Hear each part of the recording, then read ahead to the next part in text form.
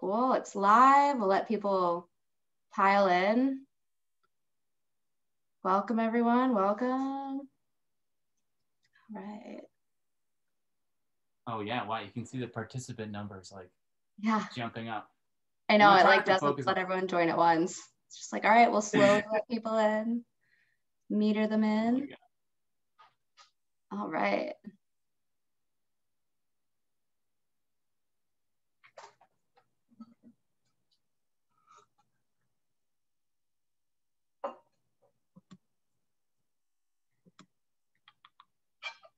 One more quick thing. Yeah, go for it. Cool. Welcome, welcome, everyone. I am Liz with the Mountain Shop. I think we're just about got everyone joined. Um, all right. Cool. Looks like the numbers are kind of steadying out. So, welcome everyone. I'm Liz with the Mountain Shop. Thanks everyone for joining our Be Prepared to Repair in the Backcountry webinar. Tonight we're joined by John Barkhausen with KAF Adventures. He is a guide with them, area instructor. Um, he is the Portland programs director and the regional or the all of KAF operations manager. Correct? Did I nail that? Cool. Nailed it. Sweet. Done. All right, cool. Well, without further ado, I'm going to pass it over to John and we'll talk about some of those repairs we might run into in the backcountry. Take it away, John. Sweet. Awesome. Thank you, Liz. Um, welcome, everybody. Um, so yeah, like Liz said, my name is John Barkhausen. Um, I work for KAF Adventures. Uh, and I've been guiding and teaching um, various activities in the outdoors for about 15 years. I've been teaching skiing and avalanche classes for maybe eight years, nine years, something like that. Um, and so tonight, my goal is to talk about some basic repairs you might do in the field. Um, and so that's going to include talking about tools and equipment you might bring with you, um, sort of improvised implements you can use, like things that you don't have to bring a tool for. Um, and most of this stuff is talking about sort of the small scale breaks and bends and things. And then we'll talk a little bit about sort of the major stuff that can happen um, and ways to fix it um, because these things can that can go wrong. They can be tiny and minuscule and just kind of be a pain to deal with the rest of the day. But they could get all the way up to the point where it's going to be a huge effort to get you back to the car or get you out of the backcountry or um, whatever it is. So we're going to talk about some ways to mitigate all of that. Um, the way it's going to flow is I'm going to bust out my my repair kit that I carry with me every day in the backcountry, um, and we're going to go over gear. Uh, we'll even get some ideas from you all about gear you might carry with you, and I'll try to answer some questions there. Um, then we're going to talk about some common things that go wrong and what to do if they do go wrong. Um, and then from there, we are going to just take some questions. That'll kind of be the flow. So here we go. This is my repair kit. Um, it's pretty small, but it's kind of heavy and it's got a lot of noisy bits in it. Um, it's basically the same kit that I carry all year round, even like when I'm alpine guiding and um, climbing guiding, I just swap out gear. So there's some things that are really universal and some things that are very specific to skiing. Um, I'm gonna tilt this down a little bit to show the stuff more. Okay, so let's pull this stuff out. So the first is ski straps. So ski straps can be super useful. I usually have like eight or 10 on me at any one time. There are various sizes. This is a nice sort of skinny one for just gear and stuff. This one's broken, um, but still totally useful. And then I even have a bunch more that I actually wrap up in a rubber band. Um, so they take up less space and aren't in the way when I'm trying to get at something else.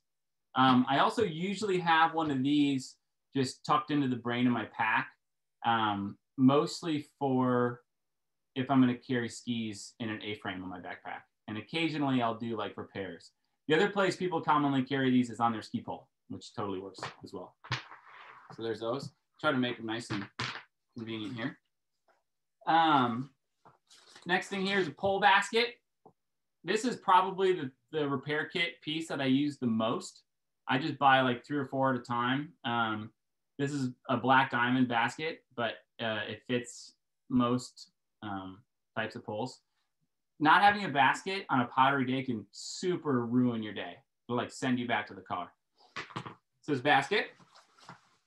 Um, this also in the in the pole world is a pole splint. So if you break your pole, so I'll show you how to use that later. Let's see, we have some various bits of cordage. So this is just like parachute cord, little thin cord.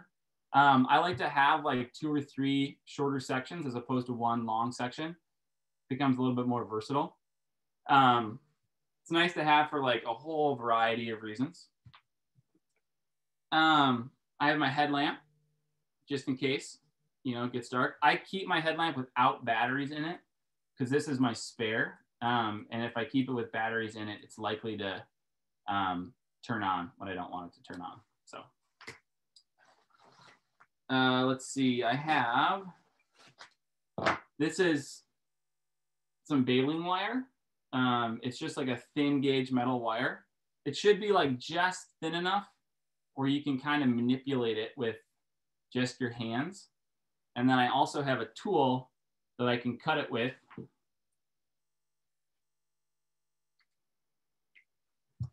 Um, and bend it with uh, if I have to. So baling wire could be super useful because it's it's a little bit more rigid, obviously, than the cord. Um, and it's also a little bit more lower profile. And so if you have to do something with the rigidity, you can do something that's like repeatable. Like if a buckle falls off and you need to just be able to strap a boot closed and take it off and then put it back on and then take it off, you can make a little like sort of circular clasp with the wire and it'll stay in place even if you have to pull the strap out, put it back on, pull the strap out, put it back on. One trick that I do with this, let's see if I can show it on the camera, is I bend back the tips so that the wire doesn't poke a hole um, in my little stuff sack here for my backpack. That's a little pro tip for you. Bend those back. that's on both sides. Um, and I've had this wire for years and years and years, and I've used it a few times, and then I just wrap it back up, and I'll use it again. Um, the tool that I have uh, is also really nice because it has a, you know it's a multi-tool, so it's got all kinds of options. One thing that's important is some kind of like screwdriver is nice. Um, can opener is usually classic, although I've never used it. Uh, and then a knife, obviously, is also super useful um, for a whole variety of things. Okay, what else we got in here?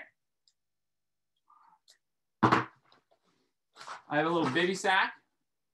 So this is a little like mylar bivy sack. I'm not going to unroll it because they're basically one-time use in terms of getting them back into the bag. But they're the little foil SOL bivy sacks. So these are nice for emergencies. If you got to stay warm and get somebody warm. They can also be useful if you're if you're making some kind of improvised sled. Um, I have spare batteries. And what I do is both my avalanche transceiver and my headlamp take three AAA batteries. So I go ahead and I tape um, my batteries into packs of three because that's what all my stuff uses. Um, and that way I know that if I pull a pack of three out of my repair kit, they're good batteries. And then if I am taking old batteries like out of something like my headlamp and I just throw them in the bag so I can you know, like get rid of them and stash them, then I know that loose batteries uh, are not good. So good batteries taped together. It's kind of a trick I picked up a bunch of years ago. Uh, lighter can be important. I just like the little mini ones. Good for like sealing the ends of ropes and things and also starting fires if you're cold. Um, this is a super useful tool that comes in handy a lot, um, especially if you ride with snowboarders. Um, it's just a little ratchet tool. Um, and then it's important to have bits that work with your various pieces of gear. So I have a variety of bits here, um, flathead, Phillips head, things like that. They just go in the go in the head of the device, and then you go. Um, I think this is a Dakine tool. I don't know if anybody knows what symbol that company is, but um, it's pretty useful. Um, I like how small it is. It's it's heavy, but it's small. Um, Black Diamond also makes one that's like a T shape. Um, it's a really good little ratchet. Um, I've also seen people use like small, like ratchet style socket head wrenches with, with this sized um, head. Can also be useful. And then the last thing that I have um, is this little kit. And this is a whole bunch of little items um, that I'm gonna open up and show off. These are probably a little bit beyond the like basic recreationalist um, and more into the guiding, like long, um, maybe multi-day trip kind of situation. Because hopefully I wouldn't be opening this box unless like it's really hitting the fan. Um, but I will open it up and try to show things off. So the first thing I have here, this is a little Allen key. So the bolts on my on my bindings uh, are different than your standard mounting screw. And this is the Allen key to tighten them. So I make sure I always have that. I have four bolts with wing nuts and washers. I just don't keep the washers on there. And this is actually to make a little improvised sled out of a pair of skis. Um, then I also have a drill bit that is big enough for those bolts to go through. So this has the little hex quick connect bottom. And so it actually fits into this ratchet. So I can use this um, to drill a hole in a thing. And uh, I will show you what I might use that for later. Um, I also have a little drill bit that's big enough for cord to fit through or baling wire, um, and can also be nice to start this hole um, because drilling through skis and metal sheets and stuff, you might want to start with a smaller hole. Uh, and then my last few bits, besides the washers, is I have a, like eight or so of these screws. So these can be useful if you have to attach something to a ski um, or, you know, potentially reattach a binding or something like that with those. So that's my little super emergency kit. Um, again, it's heavy, but if I was in a situation where I absolutely needed this stuff, then I would be happy to have it. Um, in terms of repair kit items, that's pretty much everything that I bring. And so then I was curious if anybody else has um, any other items that they generally carry with them um, go ahead and throw them up in the chat. And throughout the rest of the talk, we will talk about those items and um, I'll be like, oh, that's an awesome idea. Um, oh, duct tape, of course, duct tape. So here's my duct tape. Um, I just have it wrapped around my ski pole. Um, and someone also mentioned electrical tape. Electrical tape can be super useful as well. Um, electrical tape, you can like stretch it and like wrap it around something multiple times and it holds super well. Um, and uh, but it can also uh, be more brittle in the cold electrical tape. Um, let me open up this chat here. Duct tape, yeah, super glue can also be really good. Um, that's just a quick little fix. It's not always the strongest, so if it's a high stress area, it might not work super well. Um, yeah, skin wax can be great on a hot day if you're getting some some snow clumpage on the bottom of your skin.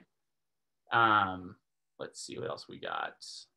Thread and needle, alcohol for cuts, cash. Cash is probably a pretty good idea. Yeah, I think alcohol for cuts and any kind of first aid stuff I wasn't planning on going into, but yeah, full first aid kit I bring all the time. Um, epoxy. Yeah, epoxy can be super useful.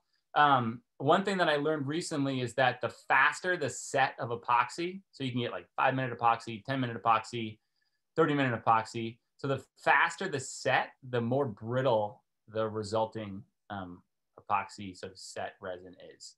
So keep that in mind um, when you're getting epoxy. Um, like if you're doing a repair at home, it might be nice to have like a 30 minute or a 60 minute epoxy. But for the field, you might want to have a like a five minute. Um, extra skin tails can be super useful for sure. So if you have one style of skin tail, it can be nice to have those. Even like a whole like rubber tail that can fit into your skin. That can be nice. Um, what else we got here? Rubber bands. Rubber bands could be good.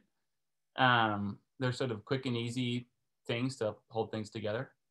Um, aspirin again is then sort of the first aid situation. Sewing kit um, could be useful. I might take that on like an, on an expedition um, for like a multi-day trip, uh, or even just some patches if you like end up burning a hole in a jacket or something like that. Um, we got some fire starter things. Cordelette. Cordelette's good for like hauling people out of the backcountry. Um, let's see. Favorite kind of duct tape. Um, I don't think I do have a favorite kind of duct tape. I think not the cheapest stuff at the hardware store. I think I've definitely been hosed by buying the cheapest roll at the hardware store. Um, and so getting something like a little bit nicer than the cheapest stuff. The black Gorilla tape um, can be really good. It's like nice and thick. Um, so that can be pretty good. Um, zip ties. Yeah, zip ties can also be super useful um, for sure. Um, I'm just going to scroll through these. Metal shavings and epoxy, uh, pulling out of a screw. Yeah, we'll talk about that when we get to screws or um, dealing with screws getting pulled out of skis. Um, that can be a super useful tip. Um, great. So people should feel free to scroll through all this stuff. Um, um, and just read some items and get some more ideas for things to throw in their kits. Um, basically what I found is that this kit works really well for me. And all of the things that I've ever had to deal with, I've been able to deal with stuff that's basically like this. And so this is what I've whittled my kit down to. But I think that everybody has different experience and different sort of personal preferences. And so will likely end up bringing their own kind of personal stuff um, on their own kit.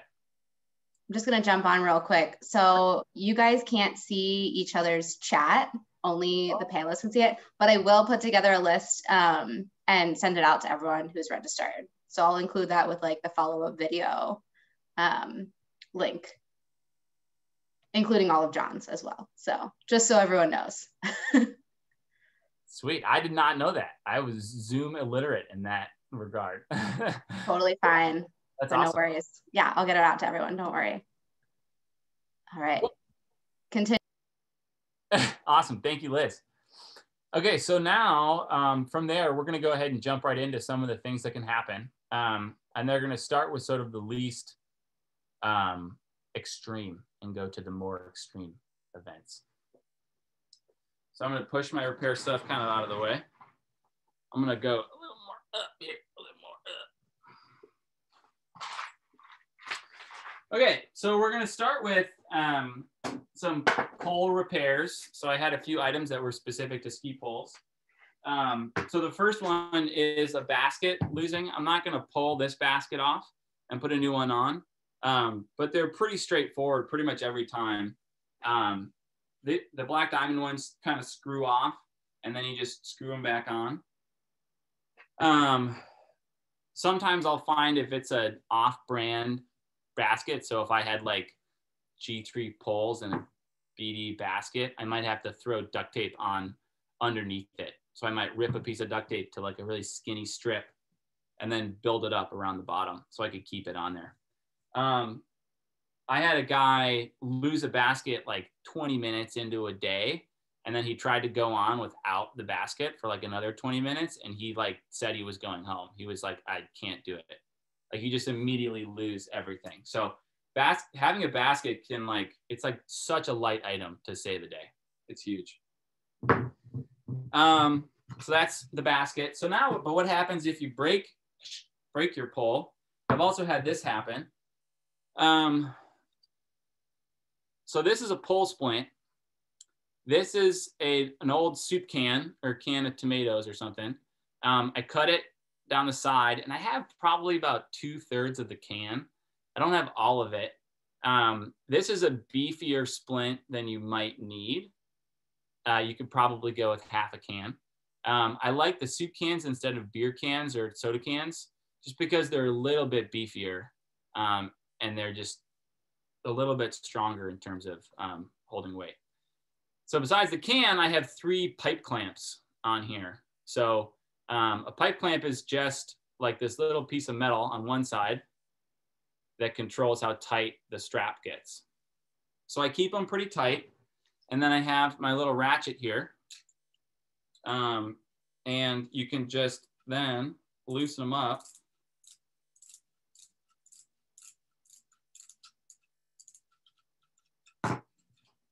And take these off of here.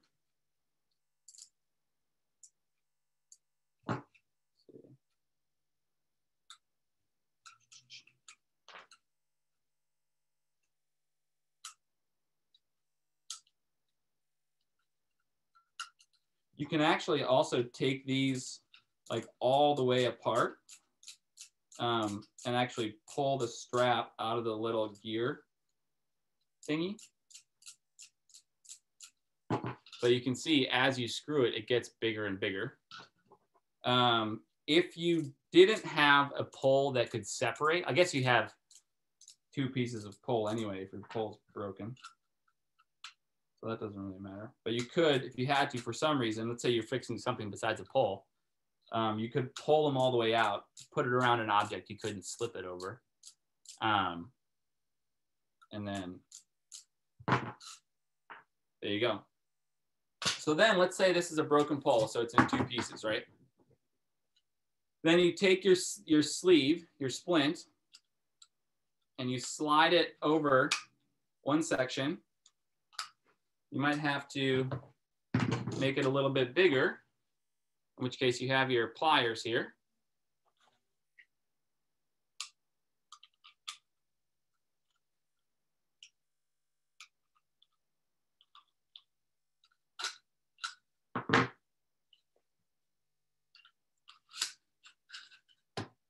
And then you want to cover, you want to get about half of it over the one pole and then I have the third one to go right over the brake. And then for the middle one, and then you slide it over the other side. And then you have all three of your clamps here.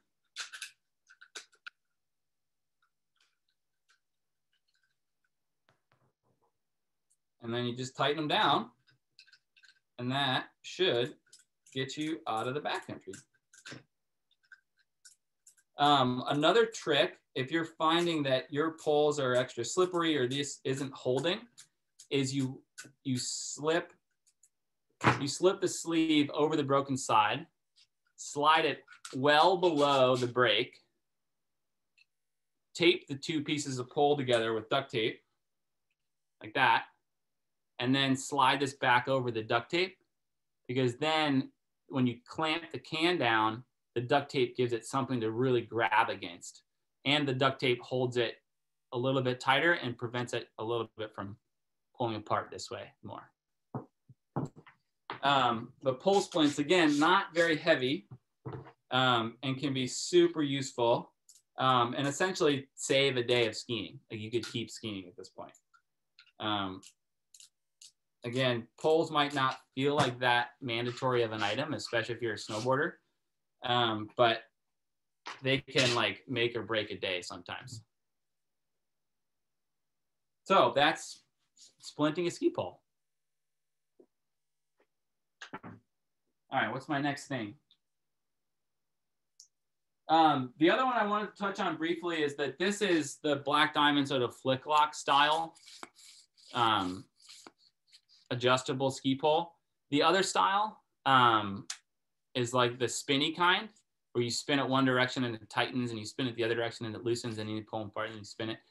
Um, I've every pair of those I've ever owned have failed at some point. Um, I actually don't think I've ever owned any, but every pair I've ever interacted with have failed at some point. And so it's nice to just be able to lock those in. And that would be either a ski strap uh, or duct tape, likely.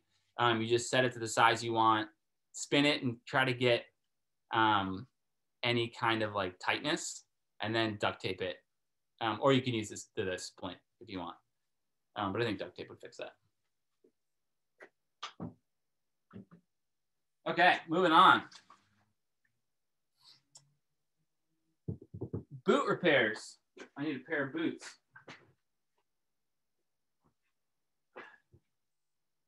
So here's a ski boot.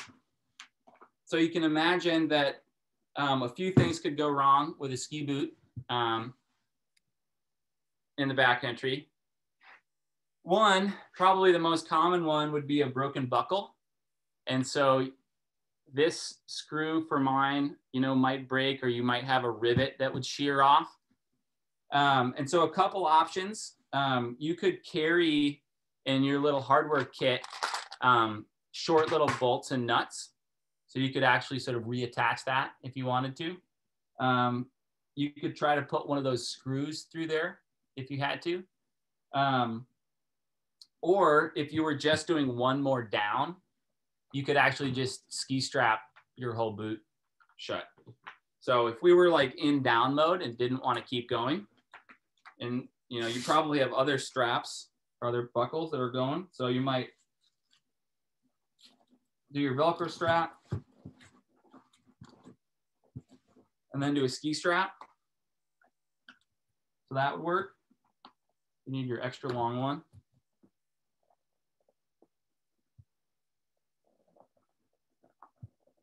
Just gotta get to that first bolt. So there you go. Probably not gonna ski as stiff as normal. That's probably the most basic um, repair there. The other one I might do would be a piece of cord. Um, so if you sheared off like this section of um, your buckle, you would have the hole that's right here.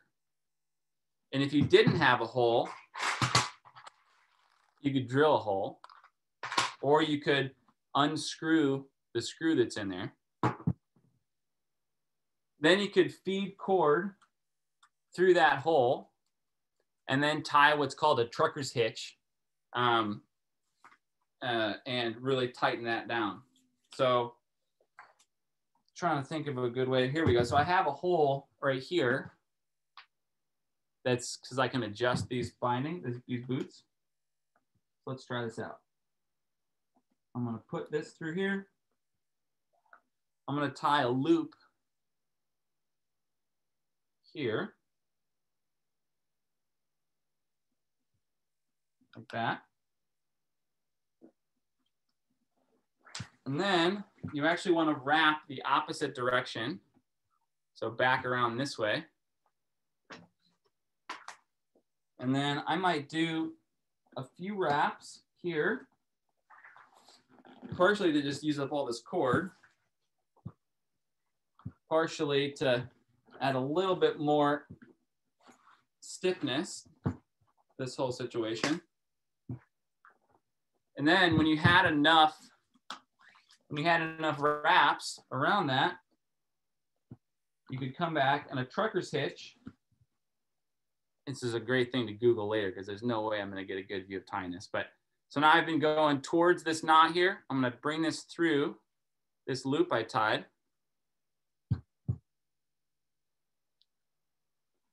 Like that. And pull this tight. And now the beauty of the trucker's hitch is you can really pull that tight. And then I could even wrap a couple more times. And then I could tie that off with a couple half hitches um, or something like that. So that would probably be my preferred method um, for replacing a broken buckle especially if I was in like really high consequence terrain. Like if you had just sort of like shredded a quarter of some um, really steep couloir with high consequence, and then you broke a buckle and you wanted to make sure you had some rigid boots, then I'd really hoss down on that thing. So that would be how I would do a buckle. Um, the third option would be is something I don't carry with me, which is a very long pipe clamp. So it's it's this same kind of clamp, Um, but some people carry like six or eight inch versions. Um, and so you could actually like open it all the way up, put it around your boot, and then like really crank it down. That would be good like in expedition style because then it would probably be really solid and it wouldn't break and you could take it on and take it off many times really easily. Um, so if I was like going on an expedition, I might I might do it that way. Um, sweet. So that's a broken buckle. Um, the other thing that can commonly break is this thing. I have no idea what this thing is called, so I'm just going to call it the axle. Um, it's basically like the hinge point of your boot. Um, it's like where your, this boot flexes forward and backward. And when this thing breaks and comes out, then it kind of makes your boot like unusable. It's like a huge pain. Um, so there's a few different ways that you can do that. One that you'll see a lot of guides do and various folks do is they'll carry like a little T-nut and a bolt. So a T-nut is essentially like a flat piece of metal with like a threaded nut right on the end of it, and then a bolt can screw right into that. And so what you do is you put the T-nut on the inside, and then you you screw the bolt down um, into that T-nut. So again, I might do that on like an expedition, on like a multi-day trip, because if you break this on like day one and it's your only pair of boots, um, then you're pretty hosed. Um, another option again is the ski strap, and I'm actually going to pull out my long ski strap. Um, and instead of just going up high, you just come down low here. I would lock my heel and luckily your boots have all kinds of things that get in the way. So you can kind of like use the shape of the boot to hold ski straps in certain places. Um, and then you pull that nice and tight and that would be a, a pretty nice fix. It wouldn't be perfect, um, but it would give you the option to get out of the backcountry for sure. Um, the last one you could potentially do which I don't think I've ever done in the field, but I was just thinking about it, is you could use baling wire um, and potentially run it through the hole and then create some loops. Um, and then if you had to prevent your, like the upper part of your shell from pulling out, you could actually take the cord and wrap it underneath your boot um, and like loop it through the baling wire and wrap it underneath your boot um, and pull that tight. So that could potentially hold the cuff of your boot downward. Um, so using baling wire to kind of like create a loop that sticks out of this hole. You'd have to get creative with what to attach that to on the inside. So that would get a little bit challenging.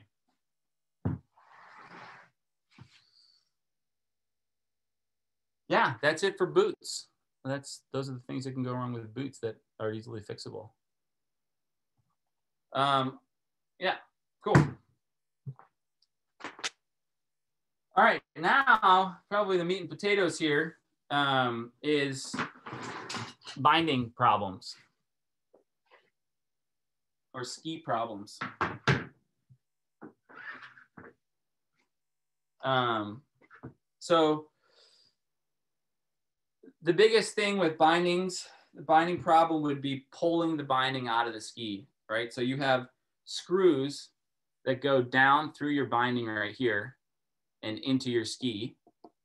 Um, and really hardcore skiers or really old skis or skis that weren't mounted properly um, could you could pull a piece out and commonly you'll see the heel piece pull out because um, people will like rock it into something and you'll put a lot of strain going forward and it'll pull your binding out um, so it's a huge problem because all of a sudden you don't have a way to attach your body to your ski um, which is kind of important if you're going skiing.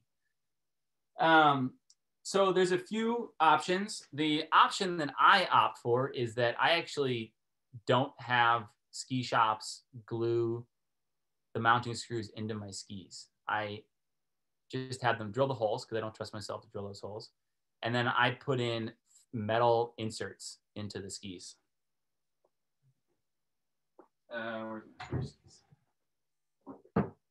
So this gives me two thing options. One, it means I can swap bindings from ski to ski.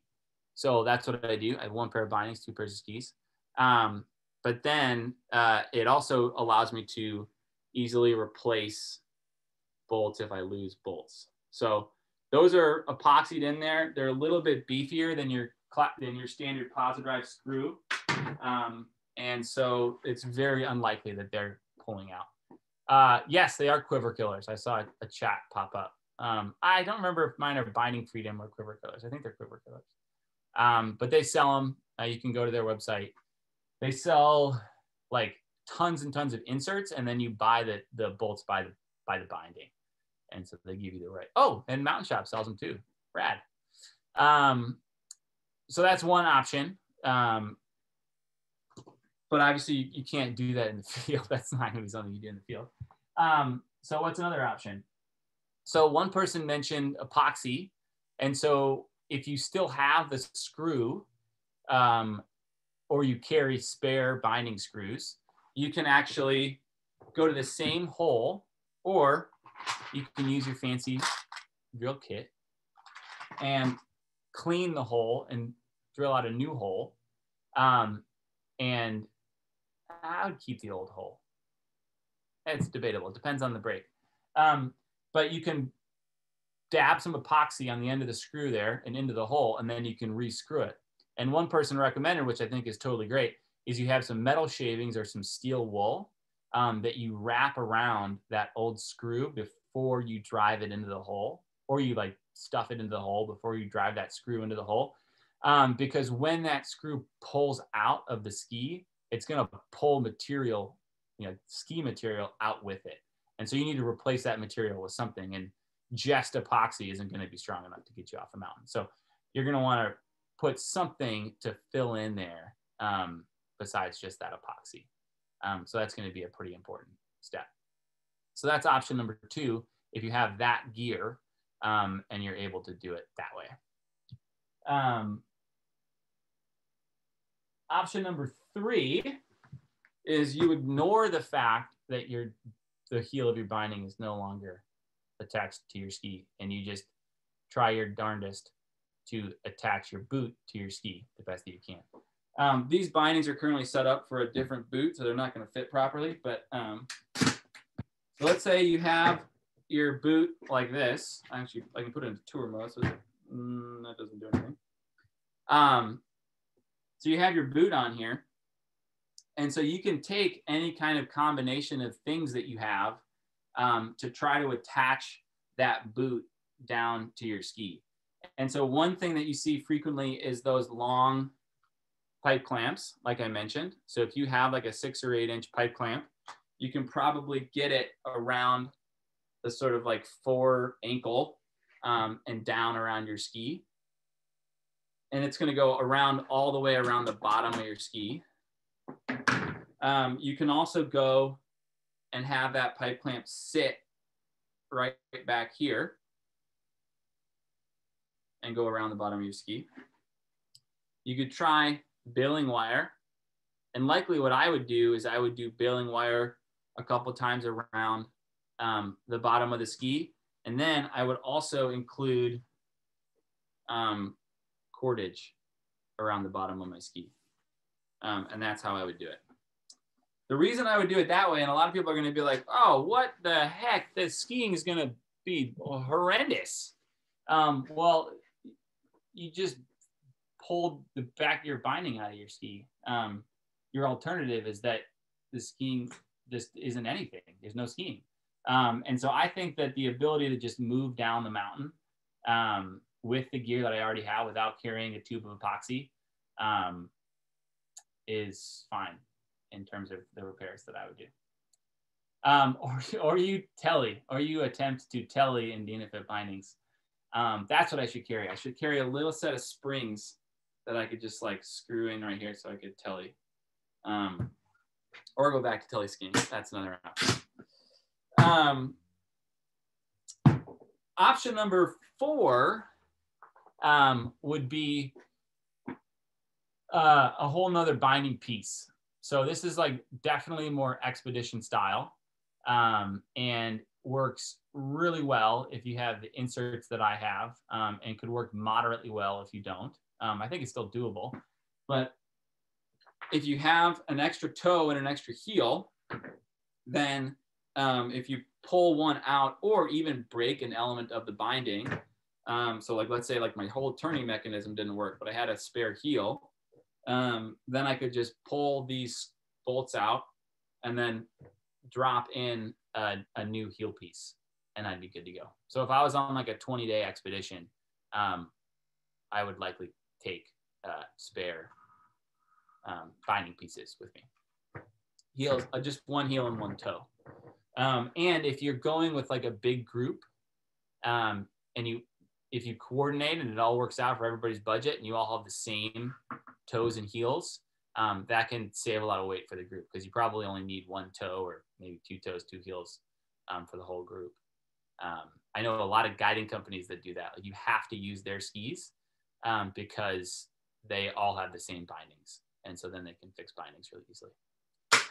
Um, so yeah, those are probably the four most dominant options if you pull a heel piece or a toe piece out of your ski. Um, let's see what else we got.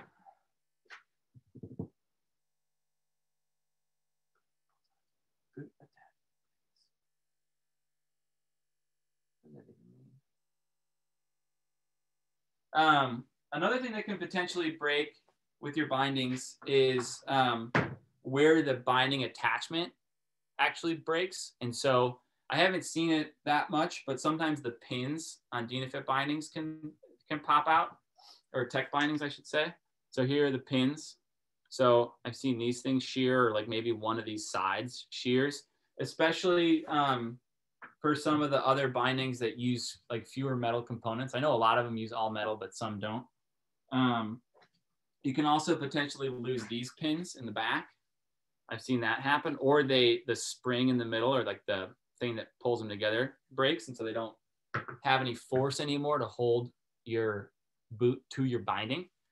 Um, so if that's the case, then you're kind of doing some of the same stuff, but you're just going straight to the binding, so you don't have to worry about going underneath the ski. So let's say my heel piece was broken um, in terms of like the attachment pins here. Um, I could just take a ski strap or something and try to go around the back of the binding heel piece like that.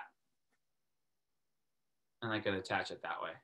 Um, I can always double up ski straps. Um, like if one isn't long enough, you can just connect them together. If you do that, I would recommend duct taping like one of them like closed. And then you can come in comme ça. I'll go our direction here. And then you could go that way.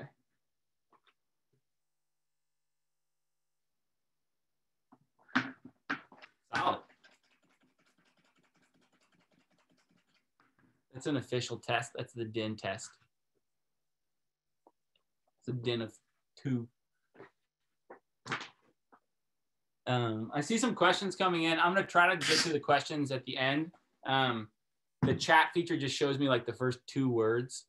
Um, and so I, I don't want to have it open because then I can't see stuff. So um, I'll get to all those in just a couple minutes. We're almost done here. Um, you could also do that same trucker's hitch option for that same thing. So let's say you had, again, really high consequence terrain. Um, you could, same idea with the trucker's hitch, have the loop be like up here and then wrap around and I would, again, I would say a bunch of times. You could even go to a couple different places on the binding. Um, and then you're just creating this like two to one advantage and you could really crank that down and get a lot of force to hold your binding down. You could do the same thing with the toe. Um, and I would recommend like coming like back to the heel, like back here, um, especially if your heel connectors are still working.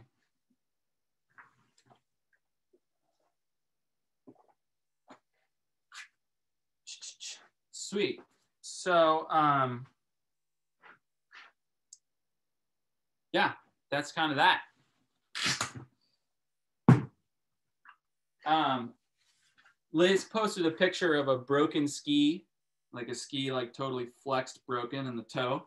Um, and uh, unfortunately, there's not a whole heck of a lot you can do with that. Um, but if you had like a long way to go, you could potentially um, find something else that was rigid, like maybe a stick or a log or something like that, um, and use the screws that are in your little hardware kit um, and actually screw a splint down to the top sheet of a ski. Um, my, or you could also just like take a stick or something rigid and like duct tape it or ski strap it. Um, create some kind of little splint for the tip of a ski. Um, and then maybe that would be just good enough to get you out. I would probably, if I was if I was skiing like super deep deep powder, then I might try to do this. Um, and I, I would try really hard to make it nice because that float is going to save you a lot of time. If I was skiing like kind of like crud or chunder or something like that, I would probably wouldn't put a lot of effort into this because um, I could rely mostly on my other ski. So the thing you should really learn how to do is ski on one ski, at least a little bit. Um, and if you have to, just side slip with the full ski in the front and go left. If you're a split boarder and you break one of your split boards, I don't know what to do. Maybe you can reconnect the board and just ride that edge the whole time. Is that a thing snowboarders can do? Um, I do apologize to split boarders that this is a ski centric um, webinar. I only ski. Um, I don't have a split board. So I think the most common, uh, we can talk about split boards. Um, cool. Okay, so the last thing I'm going to go over um, is uh, the very, very basics for building a sled out of your skis. I think this is an important skill to have, and it, it comes back to my repair kit because I, I carry a lot of the stuff to build a little sled um, in my repair kit. I don't carry like an officially built, um, manufactured, like sold as rescue sled. Um, I think that they are awesome. Some don't need skis to function, and some do. And I've heard that the ones that don't um, function quite a bit better than the ones that do. But if you don't carry any kind of sled situation, um, then you should know how to make a makeshift sled. Um, and the basics are you take the patient's skis. So remember, this is always going to be the patient's skis because you want to be able to stay on your skis. Um, or if it's a split board, you want to split the skis or the board because it, it needs to be a little bit wider than a snowboard is. Um, you're going to lay them out kind of flat, and the whole goal is to keep them rigid in this formation. And so the first thing I'm going to do is I'm going to find a couple of sticks or maybe the victim's like shovel or the patient's shovel handle. And I'm going to drill, I'm going to whittle the stick flat with my Leatherman knife. I'm going to drill a hole in each end, or if it's a shovel handle,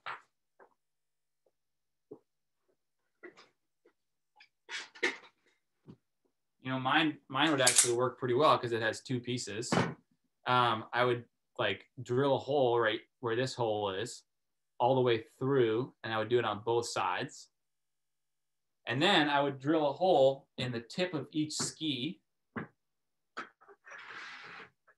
And then I would place this on the tip, and then I would place another one on the tails.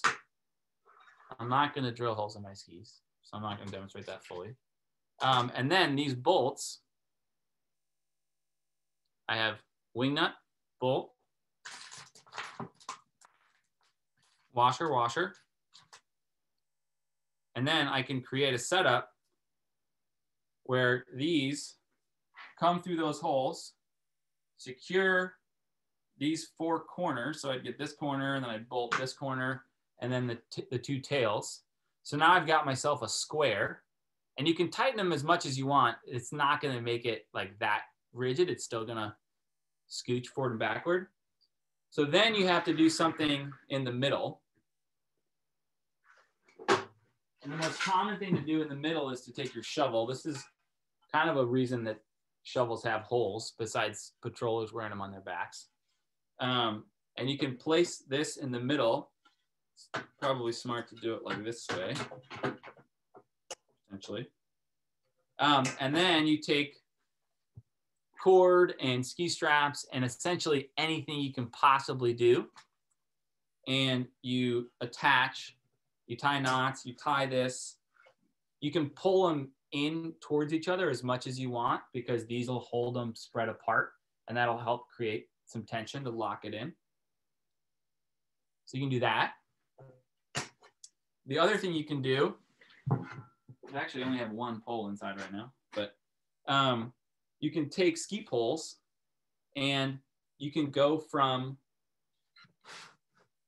the heel piece of one binding to the tip of the ski on the other side. You can lock your pole in place and then you can strap all this together and this can get strapped to that cross beam, right? And so that, and if you do it with two poles, that creates this nice X right there and it can make that pretty rigid. Um, then you can take a backpack, mostly empty backpack, and lay it on top and lay clothes and lay whatever else you have. Skins would work really well um, to make some kind of padding. And then you put a person on top of that, and then you have a piece of cord or something like that, and you can pull that little makeshift sled out. Um, it's not going to be awesome to get somebody out, but it may be the difference between like waiting for PMR to come get you um, and being able to get yourself out. Like if someone like busts an ACL or something like that. So, um, or worse. So if you're curious, you can look into, how's my shovel work? Um, you can look into the pre-made sleds also. Whew, that was a whirlwind. Um, so now we're going to open it up to questions. Um, I'll, I'll, talk quickly about split boarding. Um, split boards, I think the most common thing to happen is losing the screws, um, the binding screws. So for split boarders, 100%, I would recommend carrying extra screws um, and the Allen wrench or whatever that you need to make them tight. That's that's the number one thing. And I think a lot of the other stuff is pretty universal um, to bring. All right, Liz, you're welcome back now. we can do questions.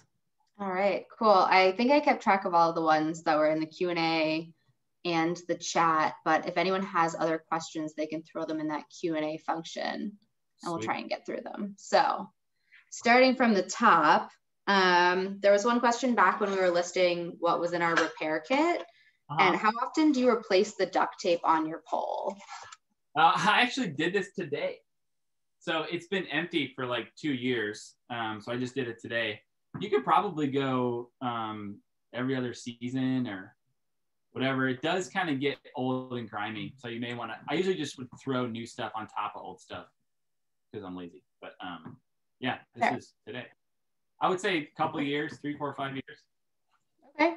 Um, do you know the weight of your repair kit for a day kit day trip versus an expedition?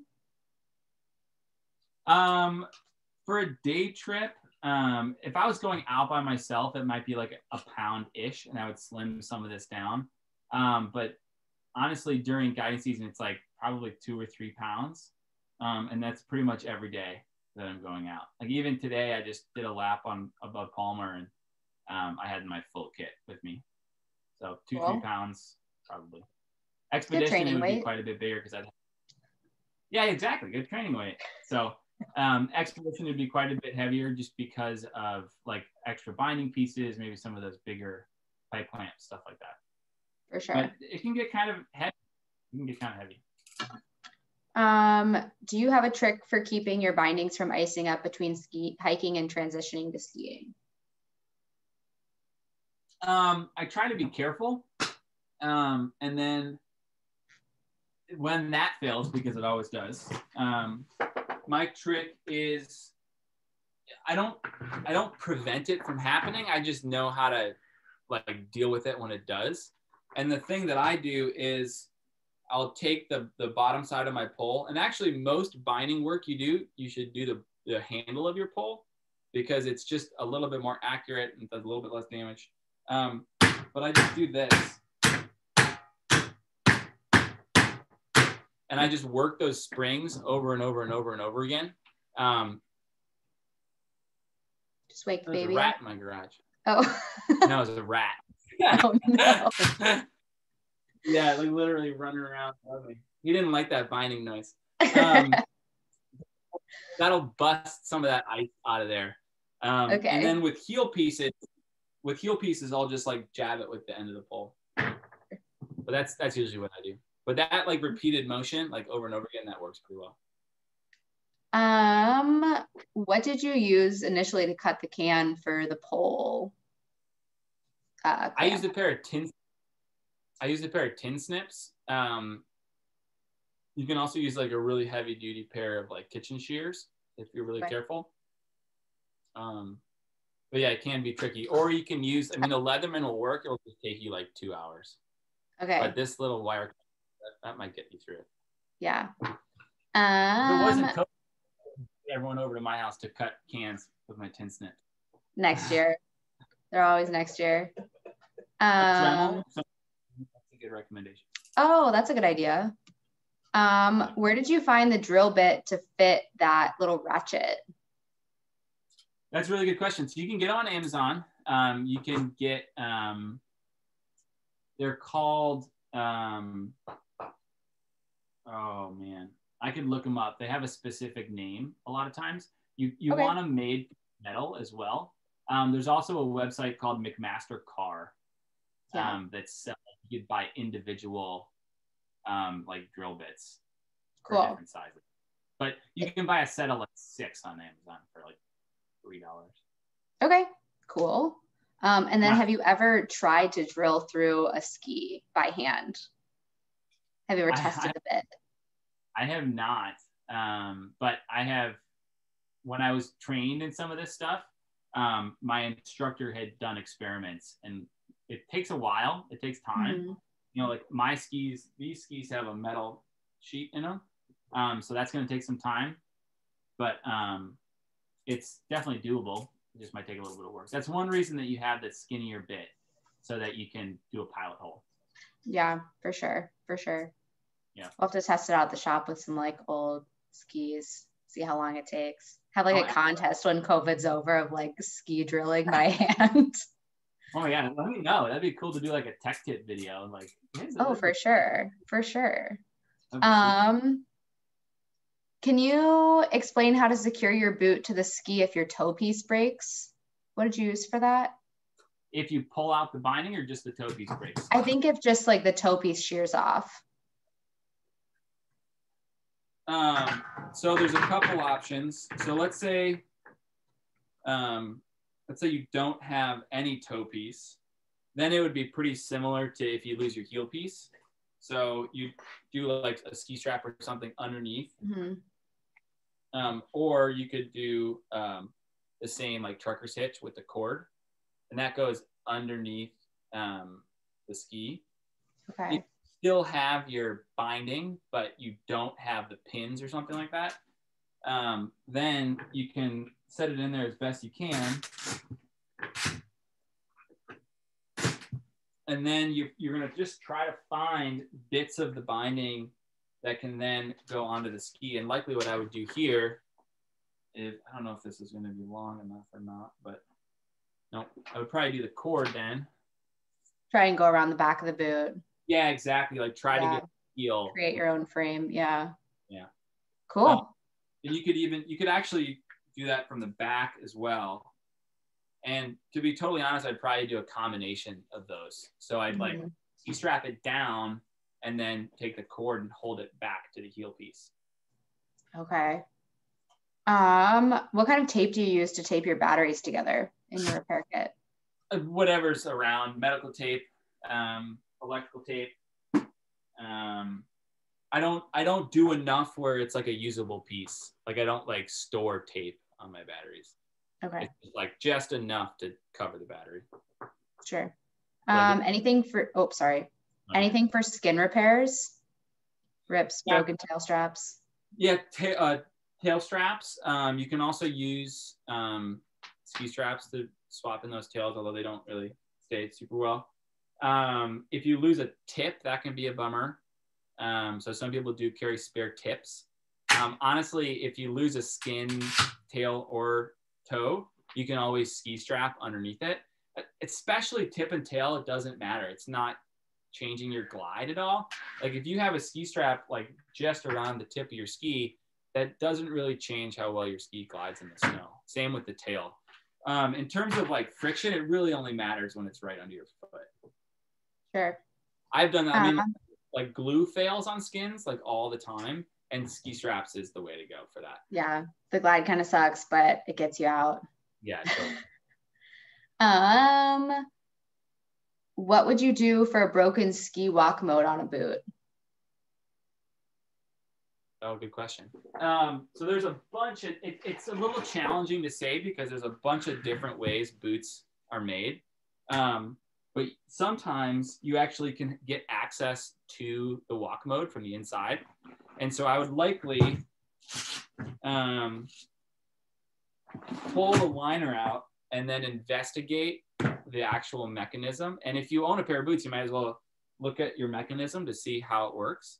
Mhm. Uh, but try to lock it in. It depends on what you want. Obviously, if, if you need walk mode, you can't get it into walk mode. That's one thing. But more than likely, you're going to like want ski mode and not be able to get it into ski mode. So for this, it's going to be really hard to show, but it's essentially like a metal peg that slides through a little like um, channel. So I would probably use baling wire because it's so low profile and try to just affix it in that Cool. channel. Um, Yeah. I know with like the Scarpa and Atomic, the ones that have like the the exterior one, if that little pin pulls out, sometimes you can get away with like putting a bobby pin or like a nail through it. Oh yeah, Um, sure. Yeah, super easy fix. My but- other the Dynafit TLT8, and they have just like a peg goes in the back. Yeah, I find anything and just shove it in there, and then like duct tape it. on. perfect. Anything just to get you down. Exactly. Um, what else did I have? Um, how many different straps do you carry in total? Uh, I think it's a one, two, three, four, five, six. Cool. Six. And then, and then, do straps ever come in handy for snowboarders? Oh yeah, for sure. Um, I think that if you have like binding breakage, like if you lose your that like piece that comes up behind your calf, you can potentially help add some rigidity. Um, if you just lose one of your toe or your like ankle strap, you can use it as that. Um, same skin stuff. You can like keep skins on. You can, yeah, I think it's super useful. Um, a couple last questions before I know you have to jump off for an, jump off for another call. Is there any data on relative frequency of different repairs or damage, or like how often you should be like checking certain things for repair? Um, the things that I would check frequently would be I usually check the screws in my skis every once in a while. I should probably do it more, but probably every couple of weeks if you're a heavy skier, because those could potentially get loose. Um, And probably boot parts too Yeah, Just boot checking, parts like, too. Yeah, for loop- wear and stuff. Yeah. We get yeah, people come in all the time. Yeah, and then just like functionality, like you know, you can check see if things are wiggling and stuff like that. For sure. Cool. Well, I think we only have one more pressing question today, and that's how was the snower snow at and above the Palmer today? Oh my gosh, it was shockingly good. Yeah. Um, so I, I know I know you linked my Instagram, and this is gonna sound like a total plug, but I posted a little like set of pictures.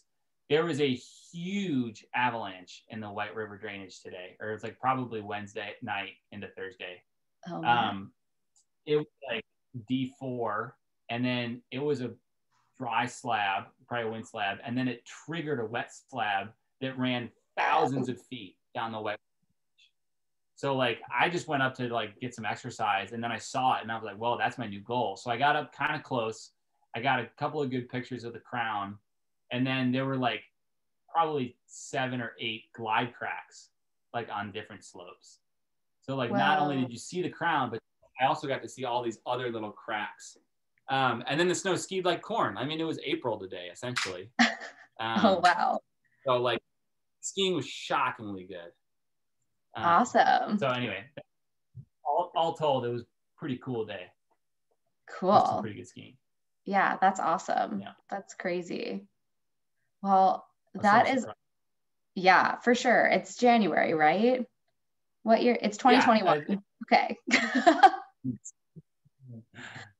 All right. Well, uh, thank, thank, you so much for joining us, John. Um, I will, it's the nom- nomadic habitat. Yep, nomadic habitat. Cool. Nice. Um, yeah, I get that in the chat there. And then, yeah, I'll follow up the presentation to everyone once we get the video uploaded and everything. So everyone can refer back cool. to it. I'll include a link or a list of all of the gear that you listed and what other people listed.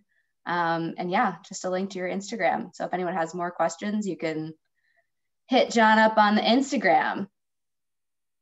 Sweet. Cool. Yeah, here for messages or questions and stuff. Awesome. Thanks again so much. This has been awesome. And thank you everyone for participating. It's been a great whirlwind presentation. I know. Yeah. Sorry I talked so fast. I wanted to get it all in. No, it's fine. Totally fine. Efficient. Cool. And thank you, Liz. No. no. I was just trying to scare the rat out of my garage. um, uh, yeah, thanks, Liz, for putting it on, the Mountain Shop, for putting it all on. Absolutely. Absolutely. We're stoked to do stuff like this and hopefully eventually back in person. But for now, this this is awesome to get the information out there. So cool. all right. Well, with that, we'll call it a night and yeah, have a good evening, everyone. Thanks for tuning in. Thanks, everybody.